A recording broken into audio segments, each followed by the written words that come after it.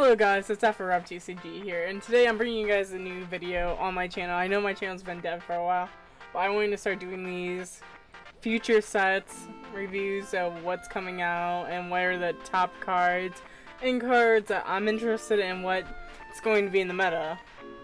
So let's start off with Greninja GX. Greninja GX, Shuriken Fury. When you play this uh, Pokemon from your hand to evolve one of your Pokemon during your turn, you may put three damage counters on your opponent's Pokemon. That's good. It's a nice de-evolution, re-evolution trick so you can easily switch around your Greninjas so when one gets too weak you can flip it back and still adding damage onto your opponent. 30 damage won't doesn't seem much, but if someone built a Gengar Greninja build, that 30 damage means a lot. If you guys don't know, Creepshow Gengar, I'll put it up in the video, if you have 30 damage on it, Creepshow automatically knocks you out. Doesn't care how much HP you have, it, it's an auto knockout. So that's a good combo deck right there. Haze Slash. You may shuffle this Pokemon and all cards attached into your deck. 110, 140 if you have a choice band on it. Like I was saying with the switching out. This deck is just to maintain taking damage while switching out Greninjas. It's kind of like Golisopod, but a few more steps. Because you have to go through Froakie, Frogadier, and then to Greninja. Shadow Hunter GX. Oh, Shadowy Hunter. My bad. This attack does 130 damage to your to one of your opponent's bench from Pokemon. Do not apply weakness or resistance. That's not bad. It's a nice 130 damage. The card itself is really good. It's possibly going to take, I would say, top 4 decks in the meta right now. With Buzzwole, Golisopod, and Zoroark.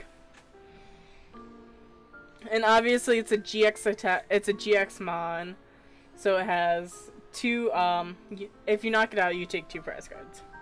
Let's just look at the artwork. The artwork is fantastic for this. All the Greninja artworks are pretty good. It has 230 HP, obviously a stage 2. Weakness to grass, which is kind of harsh with grass still running around, running around a lot in the current meta. Greninja's retreat costs us 2, which isn't bad.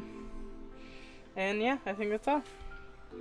It does, it is getting a rainbow rare and a uh, full art. Okay, let's talk about Zygarde GX. It's a basic mon that has 200 HP, which is fighting. 200 HP, which is not bad for a GX basic. Most of them we see them lying around 160 to 180 range as basics. Let's talk about the attacks. But also it can reach 240 with a Fighting Fury belt. That's something I should have mentioned too. Cell Connector. Attach two fighting energy cards from your discard pile to this Pokemon. Now, the importance of this is if you start off with this first turn, that's a 50 damage, well, technically going second, but say you're going second on your first turn. That's an easy DCE up to 4 energies that turn, and if you have the choice band and they have a GX mana or an EX, that's a respectable 70 damage on your first turn. Or even 50 if they're just running a stage deck. Getting 50 damage on a, a basic mon is really helpful out in the future. Land's Wrath, 130, 2 fighting, and 2 colorless energies. So that's easily 150 with, no, 160 my bad, with a choice band. Now the GX attack, also 2 fighting, 2 colorless, 150 reaches 180 with a choice band. Prevent all damage done to this Pokemon by attack from Pokemon GX or EX during your opponent's next turn. Uh, and you can't use one or more GX during the game. Now, here's the thing. Here's the thing about this card. They say you can't use the GX more than once. But with the help of Bonnie, Bonnie is a supporter that also comes from this set. You can play this card only if there is a stadium card in play. So you must have a stadium like Brooklet Hill, Parallel City, or Aether Paradise Conservation Center. If you have one of those cards in play, you can use this. Discard that stadium card.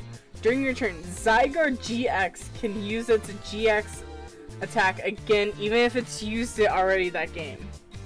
So pretty much it's going to be Bonnie and Zygarde, just flipping back and forth between Bonnie and Zygarde. Bonnie also gets a full art, which the full art is actually pretty cute artwork, I will say. Also, Zygarde, if you guys didn't see, it has a normal card art, a full art card art, and a rainbow card art. Now, Ultra Necrozma. One of the figure faces for the set. Like I was saying, it's sitting around 190, which isn't bad for a basic GXmon. It's an Ultra Beast, and it's Dragon type. Photon Geyser. Discard all basic second energy cards from this Pokemon. This attack does 80 more damage for each card you discarded this way. So, it has a lot of reach with that attack. Just for two energies, that's 180. Just if you discard two energies. Which isn't bad for a two energy discard deck. With the Malamar, which I will be talking about later, it makes this deck really efficient. Sky Scorching Light GX. You can use this attack only if the total of both player uh, players' remaining prize cards are 6 or less. Put 6 damage counters each of your opponent's Pokemon. So pretty much, if you and your opponent have 6 or less prize cards, you are able to put 6 damage counters all on their Mon. So if they have a full bench, that's 60 across the board. It's also like Tapu Koko, the baby form, where it's 20 damage across the board. I like cards like this that can spread damage, but I don't think it's a, worth using GX. But if, if you have stuff to clean up on the bench, that 60 damage does count. Every bit of damage does count. If I'm being honest here, I have no idea how to pronounce this Pokemon's name. Leave in the comment section below if you guys know the proper enunciation but I'm probably gonna butcher it. Naganale. It evolves from Poipole. It's a stage 1 sitting at 210, which isn't bad. Most stage 1 mons, GXs, sit around 210, 220, like Zoroark and Golisopod. It is an Ultra Beast, and it, for a bigger mon, it has only one reach across, which I really like is really nice. Let's get to attacks. Beast Ride. This attack does 20 damage for each of your Ultra Beasts in play. So if you have a bench full, 20 times, my bad. If you have a bench full of Ultra Beasts, that's 100 damage. Well, 120 including that. It's kind of like Zygarde's attack. Not Zygarde, um... Zoroark's first attack. Jet Needle, one psychic and two colorless energies, one ten. This attack isn't affected by weakness or resistance, so it's just an easy hitter that isn't affected by weakness or resistance. Stinger GX is really, it's really different, I would say. Both players shuffle their prize cards in their deck, then each player puts the top three cards of their deck face down as a prize card. So if your opponent is one card away from winning the match, this is an easy reset button so you can play out the game a little bit longer. And say if you're not doing so good and you know your Guzma or something you need is in the prizes, you can easily use this to get a chance to put that back in your deck. It's a helpful way to put the cards that are in your prizes and that you are locked out of back into the cycle of your deck so you can easily try to reach them again. Or else if you're not lucky and just flunk out and they all go back into the prize cards. This card, as you see, has a rainbow artwork. It has a normal and a full art too. Okay, we are all done with all the GXs from the set, Forbidden Light, that are probably going to be higher on the get list and what we're going to see in the meta. I wanted to talk about some of the more basic mons, like prisms and basic mons, that aren't really super special but are going to have places in the meta. Diancie Prism Star is going to be replacing Regirock EX for the boost, and it's only on one price take if it gets, does get knocked out. The bad part is, since it is a prism card, you can only run one of in your deck. But which is kind of good, so you don't have to try scrounging for four ofs and wasting a lot of money. It's only a one of, so it shouldn't be that high in demand. Even if it is, I don't see it going over $10. Uh, Diancie is a basic mon, obviously. It's fighting 120 HP and a 2 retreat cost, weak to grass. As long as this Pokemon is on your bench, your fighting Pokemon's attack does 20 more damage to your opponent's active Pokemon before you apply weakness or resistance.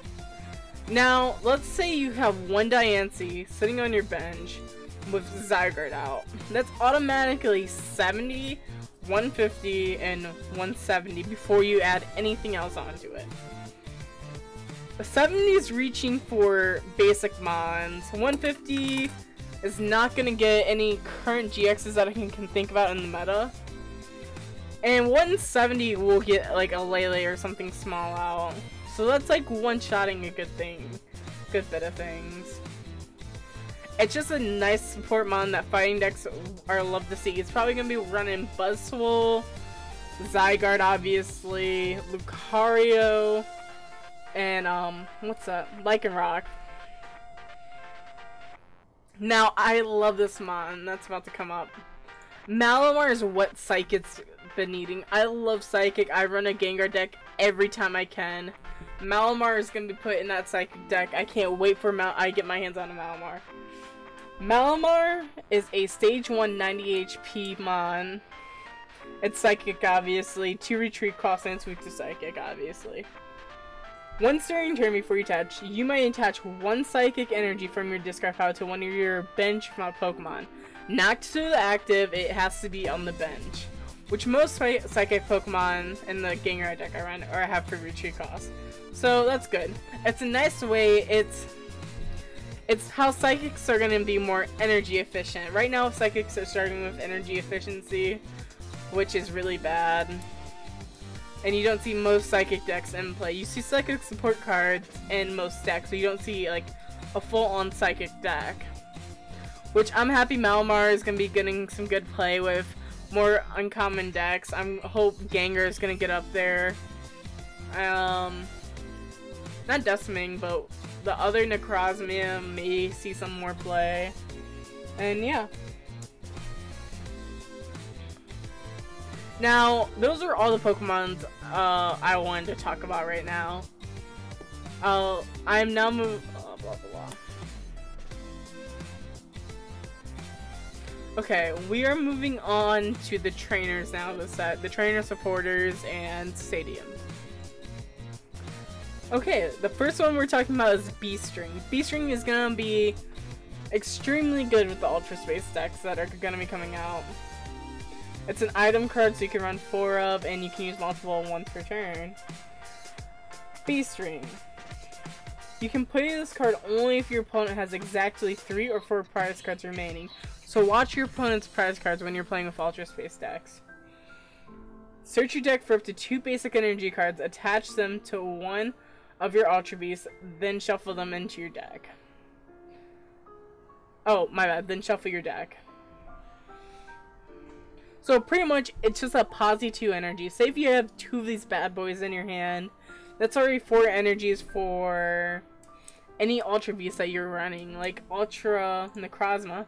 That's four energies. That's your one metal and three psychics. Easy knockout for basic Pokemon right there.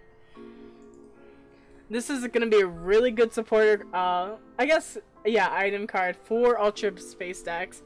It is also getting gold one that most people are going to be on the look after.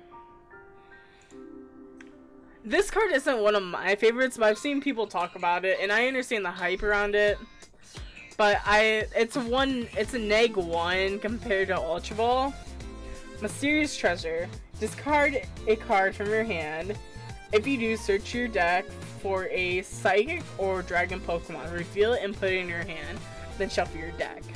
Now it's a great way to search out evolutions or um, Ultra Necrozma or Psychic or just plain Dragon Dragonmons that you would be running in your deck. I might even throw this in as a one-up for my Solgaleo deck because I run the Dragon Dialga. I know a Metal Dialga came out, but I don't want to deal with more fire weakness right now. Next up is a trainer I hate to talk about because I hate this. I hate Fairy with a Passion. I'm sorry, I hate Fairy with a Passion. Diantha, the 6th gen champion. Diantha is a supporter, so I can use one per turn. You can play this card only if your fairy Pokemon was knocked out during your opponent's last turn. So it's kind of like a teammate, where you got to search your deck for two cards if a Pokemon of yours was previously knocked out the turn before. Put two cards from your discard pile into your hand.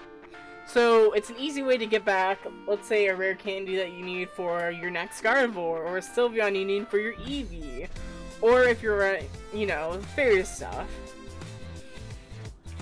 This card is also getting a normal art, that's a full art right there, and yeah. That's all about Diantha. I actually missed over one card. The one card that I'm I'm really hyped about is Metal Frying Pan. It's it's a dumb name. I love it. Uh, it's a tool. Attach to to one of your Pokemon if the if they already don't have a tool.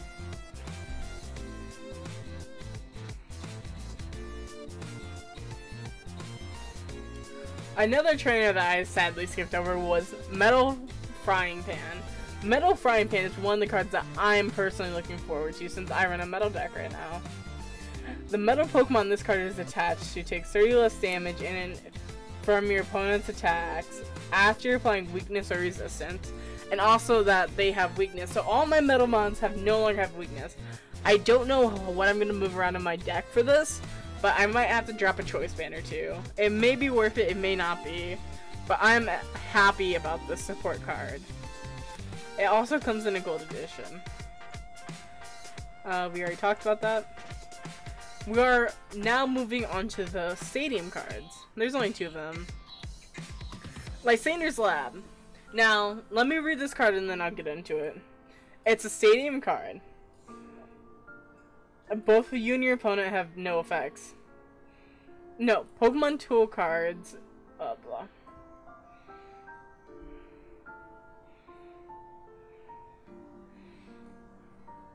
Okay. Just show out rubber. It's okay. Okay, we are done with the supporters and trainers. Now we're on to stadium cards. The first stadium I want to talk about is Lysander's Lab. Lysander's Lab, I'm going to go into detail more after this, after I read the card text.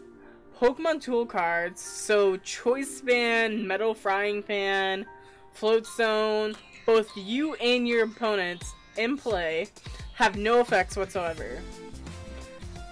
Now, the greatness and downside, so if they have choice bands, it's not adding on.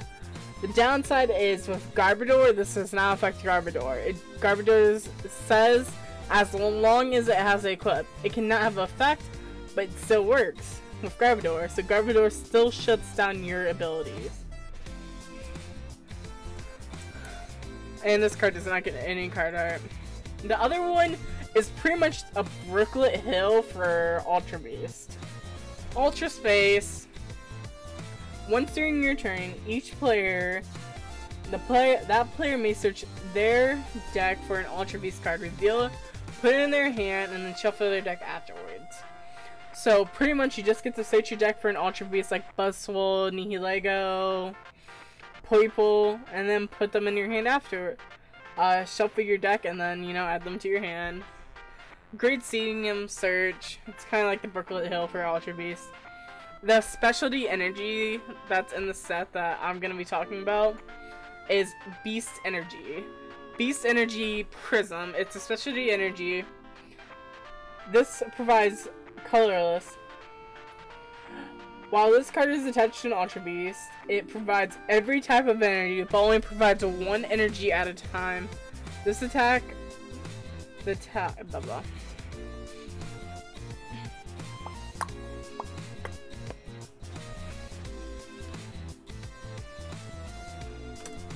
Okay, we're done talking about the trainer, supporters, and item cards. There's only one special energy set in this yeah, set that I'm gonna be talking about. And that is Beast Energy Prism. This provides a Kodos energy. While this card is attached to an Ultra Beast, it provides every type of energy, but provides only one energy at a time. The attack of the Ultra Beast, this card is this is attached to does 30 more damage to your opponent's active Pokemon before applying weakness or resistance. So applying this, it can count as a metal psychic, whatever you want, but only provides one. And like it's kind of like rainbow energy in a sense, but it also does 30 more damage. So if we look back at Ultra Necrozma, you can technically count this as a psychic energy and discard it for the plus 30 more damage. That's just one example I can think of on the top of my head. So we're done with everything that I wanted to look at from the set, guys. Now, there's three cards that I mainly look forward to because I want to bring certain decks back and try to give them a try for fun. And that's Magnezone. We already have a Metal Magnezone, but this one's pretty much for Electric. It the main thing I want to just talk about is the ability. As often as you like during your turn, before you attack, you may attach an electric energy card from your hand to your Pokemon. So this is another another way to rile up Koko. I don't think there's any other good electric attackers that we have right now, but I want to try playing more electric. I always loved electric. Electric died back in black and white. I'm so sad. We need more electric Pokemon. Give us more electric mons. The next card is obviously Malamar. I want to bring Gengar back. I love Gengar. Creepshow Gengar is going to be my thing. I might even run Creepshow Gengar with um Ultra Ultra Necrozma because that's six damage counters. That's all you need. And then two energies for Gengar. That's all you need to do. And just like knock out every turn. So Malamar's gonna be a big tech in my Gengar deck. And I'm a rarity ho. I just want this for my Solgaleo deck. Energy Recycler. It comes in gold in the set. I want that gold energy recycler. But they need to update these card arts. We have more than those five energies now. Get us a ring with fairy and dragon on it. Please. But guys, that's all I wanted to do for this set. I do appreciate you guys watching this video. I'm going to start try this. There are a few other videos that I'm going to be doing, like what decks are going to change in the meta, like Buzzwole, I'm going to add like, oh, this is going to be added, like Diancie, and some other cards. Or with, hmm, trying to think of other, but like, things that you should add to your deck with Forbidden Light coming out. And, or small changes like, in Greninja, are you to run the old Froakie versus the new Froakie? Or old Frogadier versus the new Frogadier? And I will try to do deck videos. I have some recorded from my stream, but I just haven't done anything with them. But I do appreciate you guys coming out. Make sure you guys hit that subscribe button. Follow me on twitch.tv slash I will be doing giveaways for